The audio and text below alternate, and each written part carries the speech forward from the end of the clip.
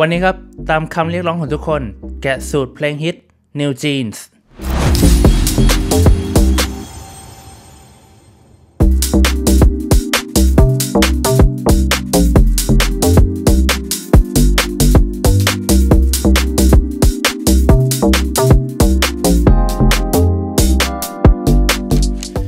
อะก่อนที่เราจะไปทำกันนะครับ เราก็ต้องรู้ว่าไอเพลง New Jeans เนี่ยมันเป็นแนวอะไรก่อนนะครับ ผมก็ search ไปนะ ก็ลอง search ไปนะครับใน Google ว่า Cool with you New Jeans แล้วก็ genre นะครับผม อันนี้อ่านว่า genre หรือว่าอ่านว่าชองนะครับ ผมมีคลิปบอกอยู่นะ เดี๋ยวแนบลิงก์ให้ข้างบนนะครับ จะได้หายสงสัยกันเนาะอ่าแล้วก็นี่จะเป็นแนว UK Garage ครับ กับป๊อปนะคำถามต่อไปคือ UK Garage คืออะไรครับ ผมก็ไม่รู้เหมือนกันนะครับ ผมก็เลยเข้า YouTube นะครับ แล้วผมก็ไปเจอสิ่งนี้ฮะ Sweet like chocolate boy.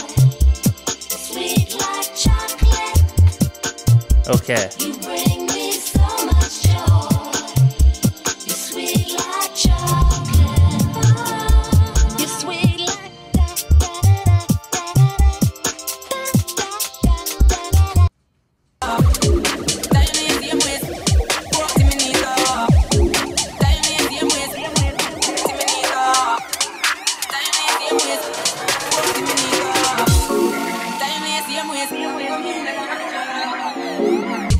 คือมันมีความแบบเอ่อกลองมันเป็น drum and bass ไหม drum and bass ที่แบบ BPM น่าจะช้าลงหน่อยนะฮะ แล้วก็เอ่อเบสอะเบสมันมีความดิสโก้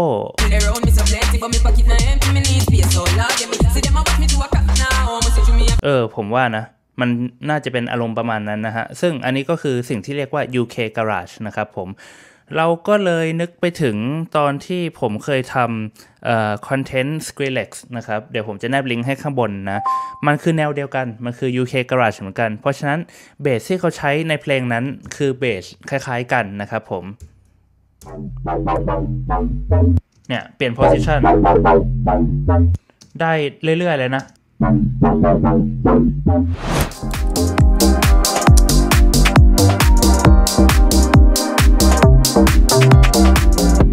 อันนี้คือไฟล์โปรเจกต์นะครับ อันนี้อยู่ในโปรแกรมที่ชื่อว่า FL Studio แต่วันนี้ผมจะพูดให้ฟังในเรื่องของเทคนิคเรื่องของการคิดอะไรพวกนี้นะ เพราะฉะนั้นใช้โปรแกรมอะไรก็เหมือนกันนะครับ ผมอยากให้คนที่ใช้โปรแกรมอื่นได้เข้าใจด้วยอะเนาะ อะ มาดูกันนะฮะ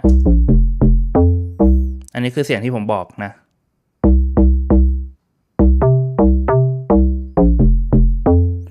เนี่ยมันเรียกว่า donk bass นะครับผม ซึ่งสิ่งที่ผมทำก็คือผมไปหาใน Splice คือผมรู้ว่ามันเรียกว่า donk bass ใช่ไหมผมก็มาในนี้นะฮะ แล้วก็เขียนว่า donk อย่างนี้นะครับ อ่า donk bass อะเนาะ แล้วก็มาที่ preset แล้วส่วนมากจะเป็นเซรั่มนะครับ อ่า ใช่ แล้วผมก็หาเสียงที่เข้าใกล้กับ original มากที่สุด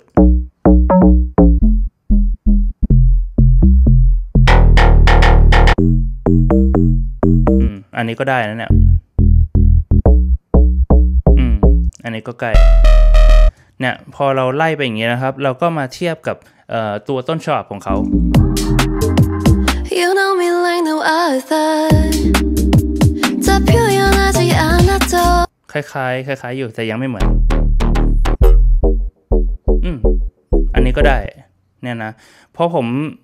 เจอเสียงที่เข้าใกล้ ๆแล้วนะครับ ผมก็กดซื้อมาเนาะมันก็จะเข้ามาอยู่ในเซรั่มนะครับ เสร็จแล้วผมค่อยปรับเอาตรงนี้ด้วยความรู้ที่ผมมีจากช่อง b ู q u i n c y นะครับ ในการปรับเซรั่มนะ ถ้าเกิดใครยังทำไม่เป็นเดี๋ยวผมจะแนบลิงก์ให้ข้างบนล้วกันนะครับ ในการปรับพวกนี้ผมได้สอนไว้คร่าวๆเนาะก็อันนี้เป็นเรื่องของการดีไซน์เสียงนะครับ ผมจะไม่ลงลึกมากแต่ว่ามันก็คือคอนเซปต์เดียวกันกับ คลิป Skrillex นั่นเองนะ ถ้าเกิดใครอยากรู้ลองไปดูในคลิปนั้นนะครับเดี๋ยวผมให้ให้ฟังทั้งหมดก่อนดีกว่ายังไม่ยังไม่ได้ฟังกันเนาะผมอุตส่าห์ทำมาตั้งนานนะฮะลองฟังดู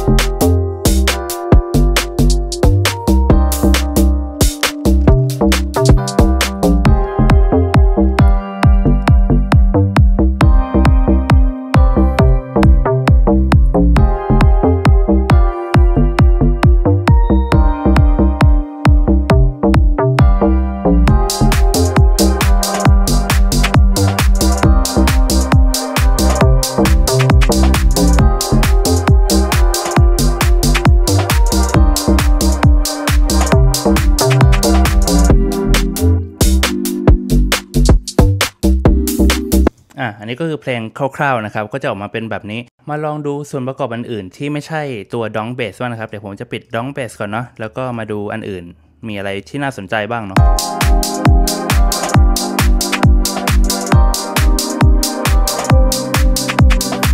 โอเค มาดูทีละตัวนะ อันนี้เป็นแพดเนาะ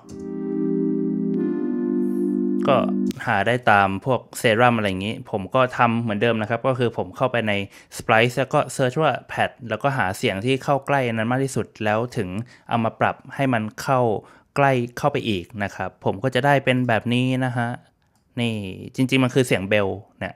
ถ้าเกิดผมกดตัวนี้มันก็จะมีเสียงเบลนะ แต่ผมไม่ต้องการเสียงข้างต้นนะครับผมเสียงต้นเริ่มของมัน ผมก็เลย มากดตรงนี้ออกนี่อะไรพวกเนี้ยนะ ก็พอทำไปสักพักหนึ่งมันก็จะพอมีไอเดียนะครับผม อะ ต่อไป อันนี้เป็นเครื่องดนตรีที่เรียกว่า Rhodes ครับอันนี้เป็นเครื่องดนตรีที่เรียกว่า Rhodes ครับ Rhodes หน้าตาเป็นแบบนี้นะครับผมถ้าเกิดเป็นฮาร์ดแวร์เนี่ย มันตัวละอ่า2,000 กว่าเหรียญนะครับ ไปถึงเอ่อ9,000 เหรียญนะครับผมแล้วแล้วแต่ปีแล้วแต่ความเก่าเหมือนกีตาร์เลยนะ อันนี้ก็คือรูปลักษณ์ของมัน พูดง่ายๆมันคืออิเล็กทริกเปียโนนั่นเองนะ เป็นเปียโนไฟฟ้านะครับผมมันก็จะหน้าตาเป็นประมาณนี้ นี่ ผมใช้ปลั๊กอินที่ชื่อว่า Keyscape นะในการจำลองผมว่ามันเป็นปลั๊กอินที่จำลองเสียงพวกนี้ได้สมจริงที่สุดแล้วเท่าที่ลองมานะครับผม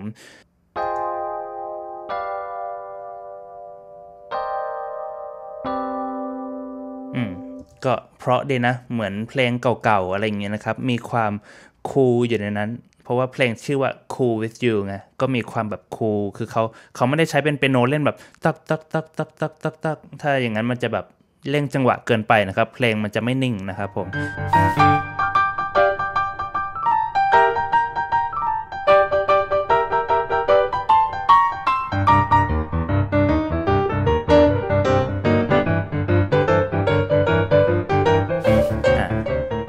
ก็เป็นพวก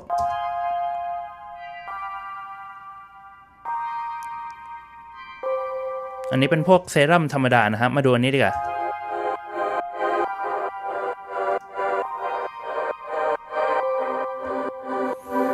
สังเกตว่าผมมีเขียน automation ด้วยนะครับ ทำให้มันเป็น sidechain เนาะ